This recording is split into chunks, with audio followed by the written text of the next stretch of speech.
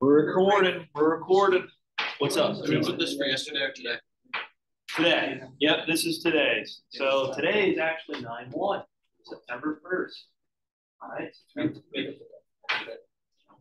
We didn't have one yesterday, so we don't have one yesterday, don't worry about it. Bless you.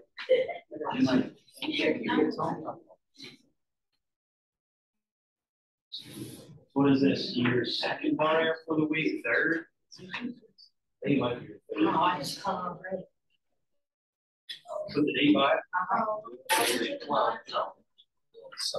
All right, hey, quiet, quiet, quiet, quiet, quiet, working on diets.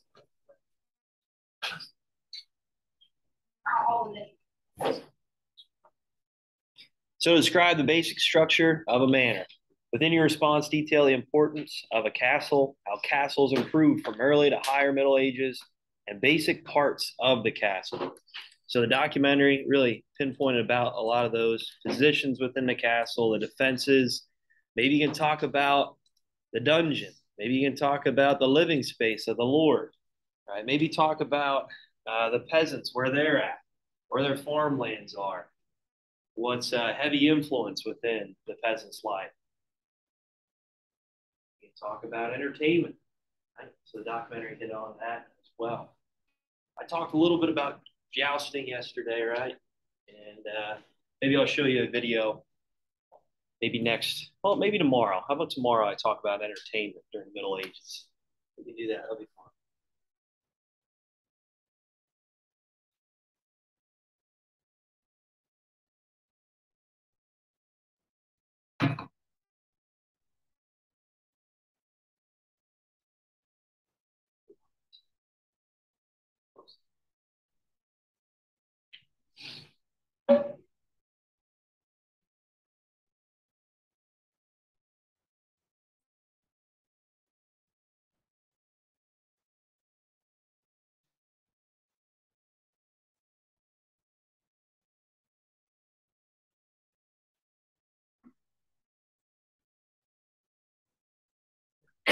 Bless you.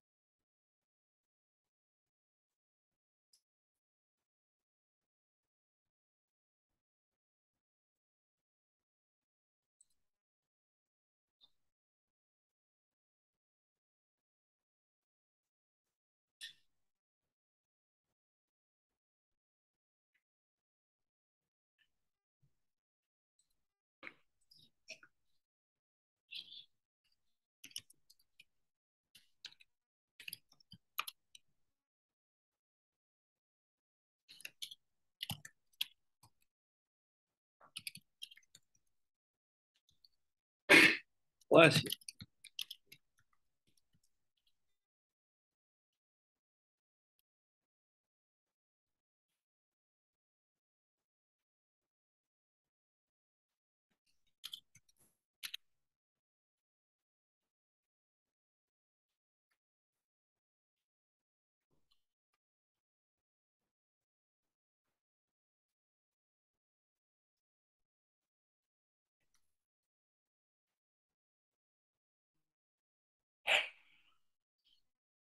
All right, before we get started here, anybody gonna watch the football game today?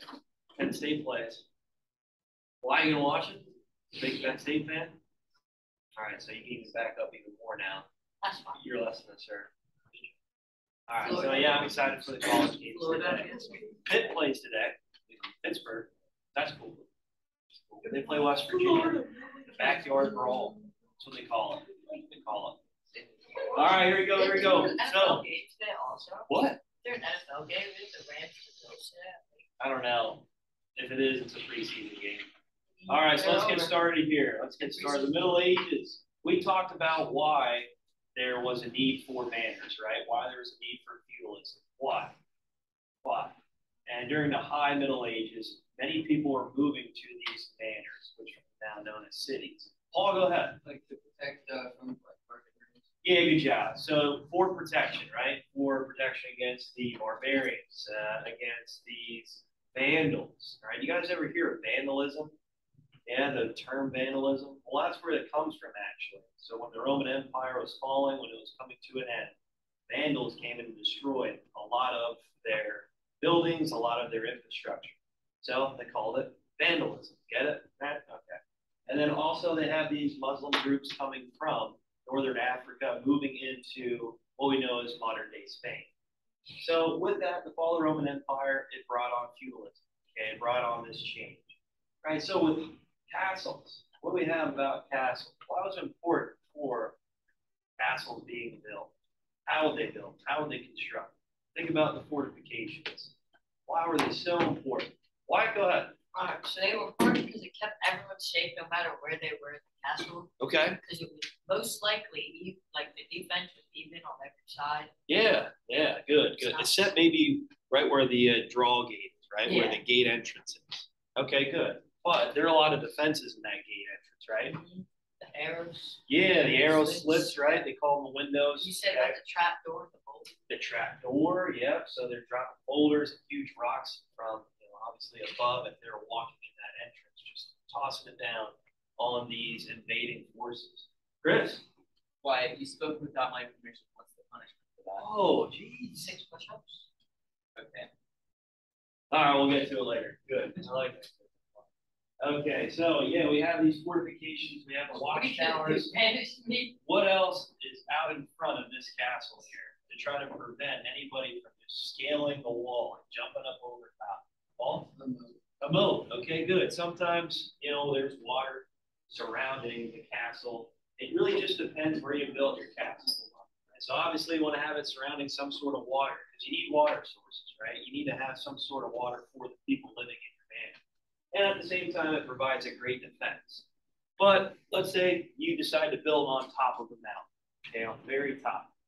Obviously, it's going to be tough for any type of forces to invade. You got to climb literally a mountain to get to you.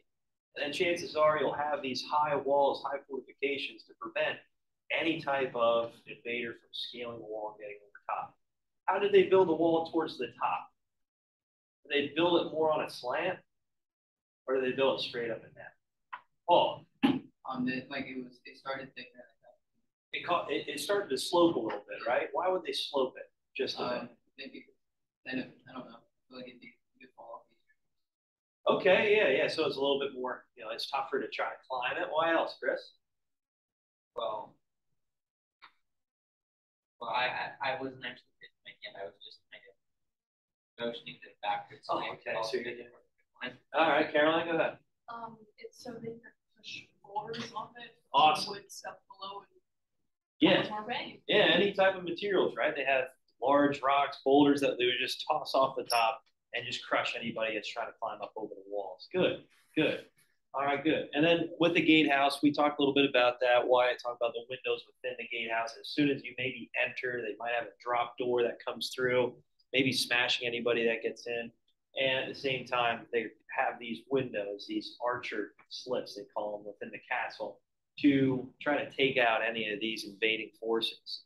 Right. So really, it was almost impossible. And let's say you did finally break into the castle. Are you going to survive? Most likely, no, no. There is just defenses everywhere. And no matter where you look, you're surrounded by any type of archers, knights, obviously, that were coming down to face you head on. Right. It was almost impossible to try to take over. Also, why would they build it so tall? Why are they trying to build it so tall and wide, strong, fortified? Why else? Is, is there more of a psychological effect to some of these things here? Wyatt, Intimidation, right? Oh, sorry, yeah, Chris. All right, go ahead, Wyatt. You can say it. I'm, I'm like the Pope here, so I'm gonna overpower. No, don't want to say it. Okay, Paul, go ahead. I'm gonna take longer to climb up them, which leaves more time for. Yeah, yeah, good job, good job. Right. Also, because the intimidation factor, right? You see something that large, that grand, that big, and uh, you're realizing as you're trying to invade that castle, there's no chance, right? There's no chance you're going to scale that wall. There's no chance that you're going to climb, you know, up and over these moats, up and over these different types of fortifications, and even break through. Even though if you break through, chances are you're dead, right? So that might even push away some of these invading forces right from the get-go, right from the beginning. It's Like there's no way we're going to actually take this castle. All right, what about the inside of the castle here? What's the detail about that? Anybody talk about the inside of it, the floor plans? Maybe someone talks about it, talk about the dungeon. What do we got? What do we got? Anybody? Paul, you're all over the place. Let's go. You got like different trades in there, most likely. Yeah, good job. Good job. So you have the wall surrounding even the castle, right? So the castle will be inside these fortifications, and you'll have your blacksmiths, right? You'll have uh, your forms of uh, you know the trades and goods when it comes to the farmers providing food, the food supply to the rest of the manor. All right, good. Um, you'll also have entertainment. So yesterday, the documentary talked a little bit about entertainment. I didn't talk too much about it, but maybe tomorrow I will. Uh, when it comes to jousting, when it comes to these small arenas where people will pack in and watch uh, these conquests, these fights going on right in front of your eyes. So that's their form of entertainment. A lot of times it just led to death, right? A lot of times it led to death. Caroline? I mean, for some people, was really watching we talked about like the crusher, iron wave kind of. Yeah, yeah. So you're talking stuff. about the torture devices, right? Yeah, good. So with these prisoners in these dungeons to try to get a little bit more of a word what's going on, to try to pick up on some intelligence. Yeah, there is some uh, uses of these torture devices. I don't think anybody would want to sit on that huge triangle, would they? No, I don't think so. No one They wants call to it use stretcher. Yeah, No one wants to sit on that thing. yeah. And then like the uh, casket with all the sharp objects. Iron Maiden. Iron Maiden. Yep. Yeah, that base. Paul? Oh, oh, there in a well. Oh well, yep. So they need water, right? They need drinking water. What about the bathrooms? What about the bathrooms? Where would that go? Where would that go? How do they build their bathrooms? Lana, go ahead.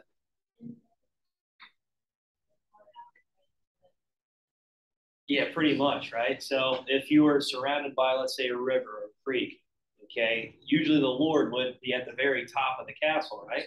So his bathroom would literally, you know, once he goes to the bathroom, there's a tunnel that goes right out the side of the wall, and then it's just flying down into the river or into creek. Or if you didn't have that luxury, cliff. But yeah, where do you think these people bathe? In the river, in the creek that's surrounding the castle. So there you are, washing yourself, and there's crap flying down at you. They're just joking. Well, that's what actually happened. That's actually happened. All right. Uh, anything else we can add? What about the peasants? So the other day I showed you a diagram of the manor. Where would the peasants reside? Where would their land be? Chris? In the village around there. Yeah, surrounding the manor. So initially, do you think they got any protection? No, no, they didn't. Right. So if there was an invading force, yeah, they would try to stop it before it got to the castle. Or if they're lucky, they allow them to get into the castle to maybe find a position like an arch or whatever it might be to try to prevent this attacking force from getting in. Uh, their farm fields are located outside of the manor, okay, to grow food for the manor. And then also, what is a high priority for these peasants? What's a high priority? What was focused out there? B, go ahead. The church. Yep, good job. And who had their own house along with, let's say, the Lord, right? The Lord. Uh, go ahead. Wyatt, go ahead. Yeah, the priest. Good job, the priest. Good, good. So again, church religion being a high priority in the lives of these people of the Middle Ages. All right, is there any questions on the castles? All right, what brought an end to the castles? The documentary hinted at this towards, honestly, the end of it. Go ahead, Connor. Gunpowder. Gunpowder, right? Cannons. So if you're sitting at the very top of a castle, the highest floor, let's say, you're 100, 200 feet up in the air, and you see these cannons balls flying at you. Do you want to be at the top? No, because once it hits that tower, once it hits that large wall, chances are it's going to come tumbling down. So fortifications changed, okay? Palaces changed. And the rule of absolute monarchies changed as well. So no longer will you see these lords having these different sections all throughout the kingdom. Yeah, they might have a body of people, let's say a group of people that are helping advise the king, but these lords kind of dwindle away with the advancement of weapons. So like cannons, gunpowder, obviously, muskets eventually, that will change. Chris? They also just kind of fell out of style with how social standards were. Yeah. Yeah, good job. Good job. So as absolute monarchy was becoming a little bit stronger, as maybe the decline of the you know, uh, you know the Catholic Church, they decided to maybe step away from castle building. Let's face it, castle buildings it costs a lot of money. Yeah, it's a lot of money to build these castles. It takes a lot of resources and time to do so. All right. Okay. Here are your terms for today.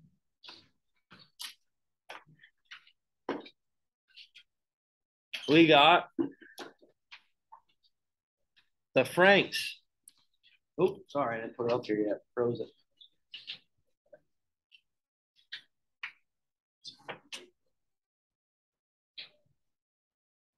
Is. There you go. We got the Franks, Clovis, Charles the Hammer Martel. What a name! What a name! Pepin the Short and Charlemagne.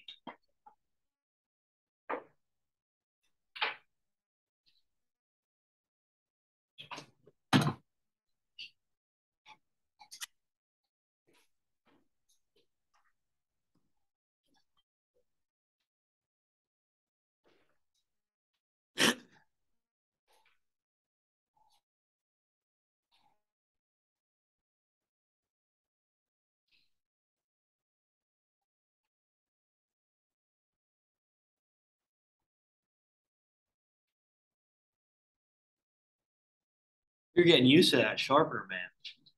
Batista.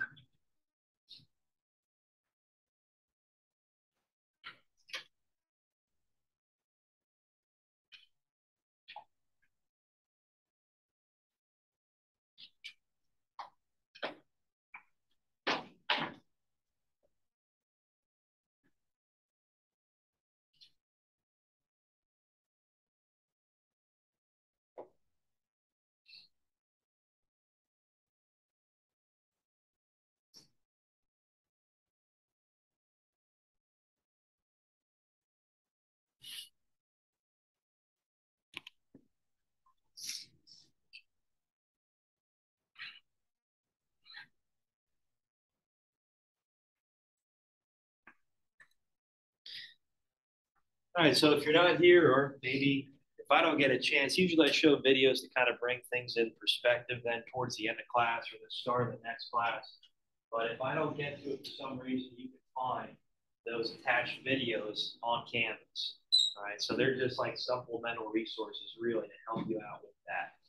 Okay, so if I don't get to a video one day and I have a plan, well, you'll see it attached to the video lesson, and you can watch it I think it's important that you do that actually. So.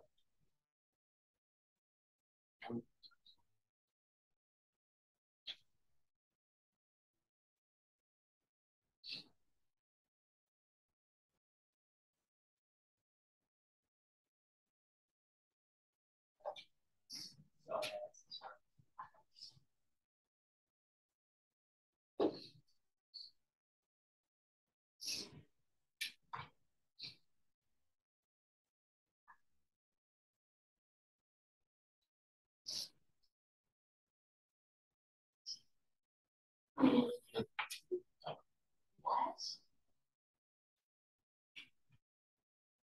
You underestimated. Like, what? Hey, what did I say about talk? All right, hey, get back to the terms. Get back to the terms. We'll talk later. Talk later about it.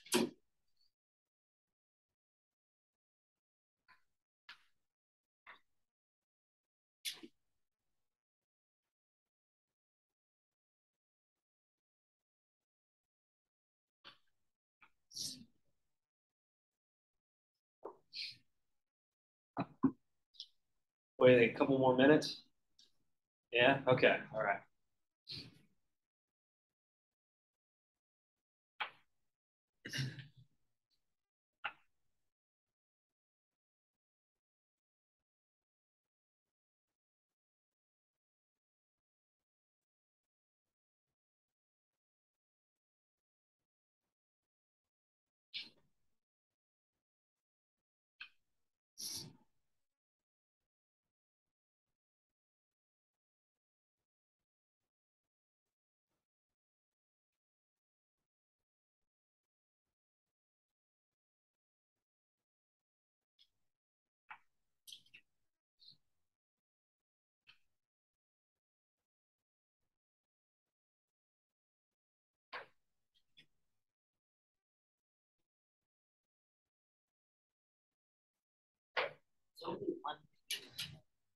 Is there?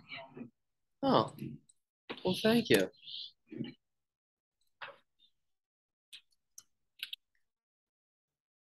You are right, sir.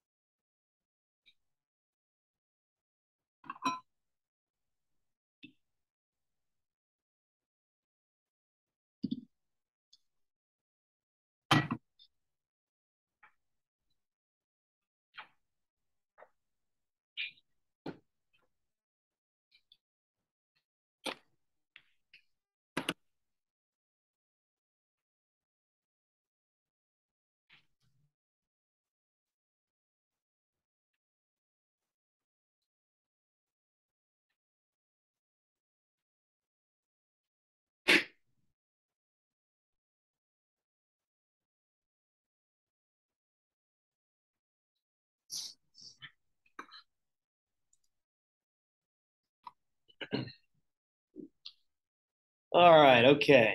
Does anybody need more time? Or are we good? Okay, all right. I'll give you another minute. I'm gonna jump right to the notes since we're running somewhat short on time. I want to make sure I get through the lesson here through the PowerPoint.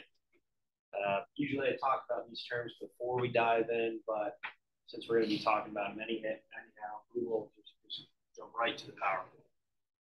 No problem.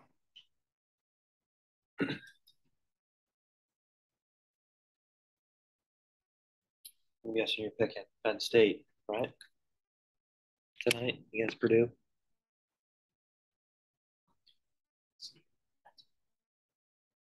Purdue or Penn State.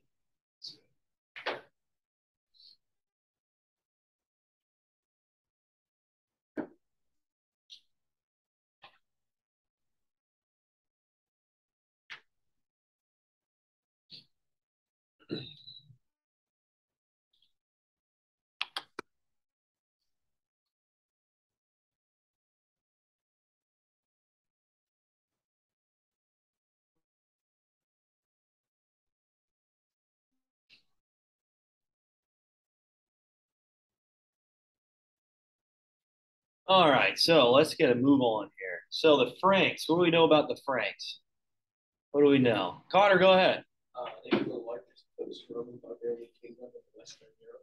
All right, good, good, good. So with the Frank Kingdom, we're going to talk about a few rulers here that you already looked up, and uh, it's really going to detail about how this kingdom was formed, how it was shaped, and how the Pope actually claims the new Holy Roman Emperor.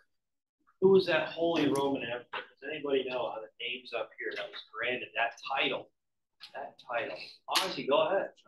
Charlemagne. Yeah, good job. Or if you want to put Charles the First there, that's fine too. That's fine too. Charlemagne is the name. Good. And we'll mention here how his kingdom just grows under each one of these these leaderships here. And I think it's important that we talk about these kings because, well, they shape what we know as the early Middle Ages. Okay. And how things will be directed when it comes to sophistication, when it comes to artwork, when it comes to utilizing religion in the name of the kingdom. All right, so I'll show you a few examples then of how uh, they kind of branch away from this Anglo-Saxon era, this architecture, this design, and shift more to a Gothic design when it comes to their churches, their buildings, and uh, it's a, it's unique. I think you guys will enjoy it. All right, so the Franks, they call a Roman province of Gaul, and uh, there was a hundred different kingdoms that were created all throughout Western Europe at the time of the fall of the Roman Empire. So again, feudalism takes hold, right? All these people need protection. They need help from these other barbarian groups, these Germanic tribes. Okay, we talked about the Vandals a little bit, right? And all obviously these Muslim groups coming from the south.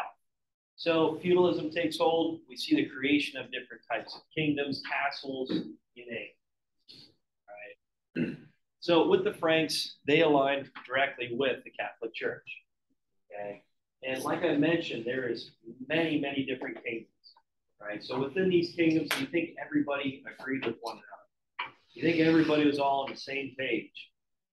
Yes, no, maybe so. Austin, what do you think? No, not at all. So when it comes down to it, you think if everybody's just off on their own, if everybody's just trying to focus on themselves rather than cooperating with the other kingdoms, you think they can protect themselves? No, no, they can't, right?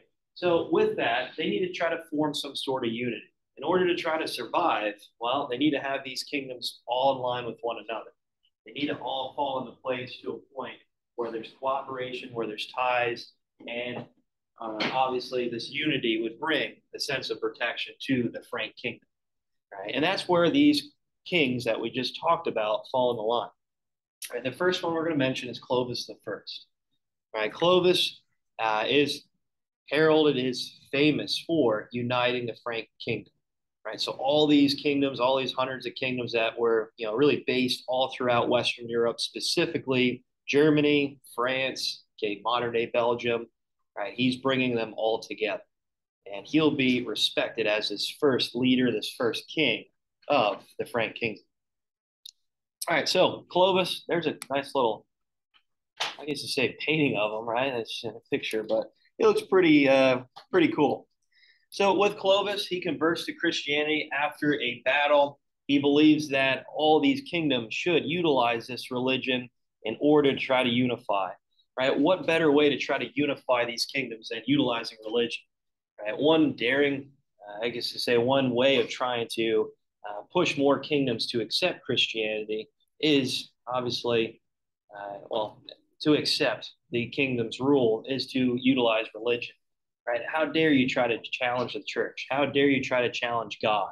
And again, utilizing religion to unite these kingdoms is a great method, a great way. And that's what Clovis did. So, one thing to note about Clovis, he utilized religion, he utilized Christianity to unite these kingdoms together, right? To bring them together, right? Again, no one's going to challenge the church, no one's going to challenge religion. So, why not utilize that as a unify, uh, uni- uh, unifying these kingdoms together? All right, so the church supports Clovis's conquests. So when it comes to these kingdoms that might not want to try to unite with the Franks, to unite under Clovis's rule? Well, he has the power of the church behind him. He has God's blessing, right? So any of these kingdoms that already agree to Christianity and agree to Clovis's rule, well, they're going to follow him into battle. They're going to follow him in conquering and trying to take over these kingdoms that might be a little belligerent, that might not accept Clovis's rule. So he's using the church, he's using using this established religion to help unify these smaller Frank kingdoms. All right, by 511 AD, he united the Franks into one kingdom. All right, so this would be like northern France. Okay, so northern France. So again, he's very famous for uh, again uniting this kingdom together. Okay, this strong kingdom, and he's respected by the Catholic Church. He's the first king to really do this. So the two forces were now allied together. So, number one, the military with the Franks, and number two, the church. So, that's one thing to note about him is that he utilized the church to unite these forces, unite these kingdoms together. And if these kingdoms are all aligned together, then they can protect themselves from any outside forces, right? So he's really the first king to do that. He's the first king to do that. So make sure you guys note that. You need a military to protect yourselves, and a great way to try to unite these forces is utilizing religion, utilizing the church for your behalf. And he's known as this first start of uniting the Frank kingdom. All right, you guys good with that? Okay. All right, Charles Martel. So Charles Martel, one thing to if you want to put this in your notes, put the hammer right beside. Okay. He gains this name by unifying even more lands under the Frank kingdom. Right. And he gets the name by defeating the Muslims at the Battle of Tours. So the Muslim groups, I'll show you the map up here, were approaching from northern Africa into the bottom of Spain. See. Yeah. So these Muslim groups were flowing right here, the Iberian Peninsula. That's what that means here, Iberian. This that almost bridges, that almost touches together. And they're flowing through Spain. Right? Obviously, if they're coming into Spain, mainland Europe, that might be a threat to the French kingdom, right? The France. So, for Charles Martel, he becomes famous by continuing that line of Clovis the First. He decides to try to expand the Frank kingdom and look south, right? And he gains the respect, the uh, really the uh, ideals of the Catholic stopping this Muslim advance in Spain the Islamic groups that were marching in to try to take over and conquer these lands. So again, that's in competing religion. So if he can stop that competing religion from expanding, he's going to have the blessing of the church really forever. Okay? And that's exactly what he does. He stops the march of this group, these Muslim groups into Spain, and he, he, he gains the name the Hammer. Okay, the So that's a quick story about Charles Martel and how he became famous. So again, he's advancing in the south, east, and north, expanding the kingdom, and he also stopped the Muslim advancement into Spain and Europe. So he gains the name the Hammer, Charles Martel. Okay, I just talked about this, and he becomes a Christian hero. Okay, he becomes a Christian hero. So again, He's looking at Clovis's kingdom and he's looking to expand it. He's looking to stop any competing religions from expanding into the Holy Roman Empire's land of Europe. Okay. So he is expanding France, stopping another opposing uh, religious force. He gains that nickname, the Hammer. Last person, well, sorry, I want to talk about two more people real quick because we're running low on time. Pepin the Short, he's the son of Charles Martel and uh, he's really famous for continuing this uh, this push of the Frank kingdom, right, to a point where the Frank kingdom's becoming one unified body, and that's exactly what the Holy Roman Empire wants. If they can have one uni- unified body, there's going to be less challenges. There's going to be less kingdoms or groups that are trying to challenge that church. So if they can have uniformity in Western Europe, overall, that will be a benefit for the religion. That will help the religion survive on. So the Pope declares him king by the grace of God. So pretty much all of Western Europe now is the Frank kingdom. Right? The Frank kingdom becomes so dominant in the early Middle Ages that it claims so much land that it's in what we know as modern day Germany, Belgium, and France. Right? This will expand under Charles I, son here, France. As you see here, he expanded pretty far into Germany. So the Short, he's expanding even more the empire and trying to push out any type of rival opposition when it comes to Muslim religion, when it comes to any other forces, protecting against barbarians, Vikings, Vandals, you name it. All right, so main thing to note about this, guys, is protection, right? The Holy Roman Empire they feel protected under these two rulers, okay, under the Frank kingdom. So that's why it's so important. That's why we're talking about it. Last person we're going to talk about here is uh, Charlemagne. Well, let's get here. Sorry. So Charlemagne, he becomes the next king after Pepin the Short. Well, it's his grandson, really. but this is the land that is conquered by Charlemagne. All right. When we talk about Napoleon, I'm sure you guys heard of Napoleon before. He looks at Charlemagne's empire and uh, he really sees himself as one of these rulers that is to keep up with uh, Charlemagne. He looks at what he conquered, what he took over in Europe, and he uses that uses it as pretty much as an example. Right? He sees him as a great ruler. He sees him as a great empire, uh, an emperor, and uh, a very skilled military strategist. So when we talk about Napoleon, that's who he looked up to. He wants to try to take more land than Charlemagne, obviously. But in any case, he looks at Charlemagne as a hero, as a as, as, as a king. All right, so with Charlemagne, here's a picture of him real quick. He becomes the first Holy Roman Emperor in the year 800. And that just goes to show that he's expanding the Frank kingdom. He's utilizing his power under the church. Okay, he's protecting his people and uh, he's trying to push off any rival religion from entering Europe. Right, what do you think this is going to lead to?